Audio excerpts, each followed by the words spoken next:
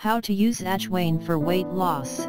Ajwain or carom seeds are an indispensable spice in the Indian kitchen. It is used in many dishes for its exotic flavor and delectable aroma. Apart from its culinary uses, carom seeds can also resolve health issues like constipation, acidity, asthma, migraine, menstrual cramps, and diabetes. If you are looking for healthy ways to lose weight, then ajwain seeds can be an effective weight loss tool. Check out these 4 effective ways carom seeds can aid Indiana weight loss.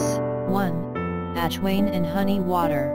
You need 1 tablespoon honey, 2 tablespoon ajwain, 1 glass warm water. Preparation Fill a bowl with a glass of warm water and soak ajwain seeds in it for overnight. Strain the water next morning in a glass and add honey to it. Stir the mixture well, drink it on empty stomach.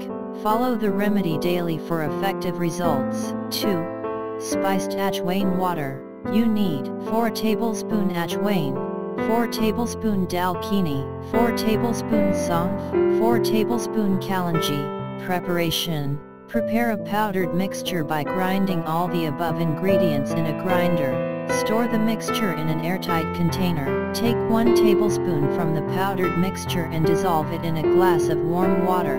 Drink the mixture twice a day for effective and quick weight loss.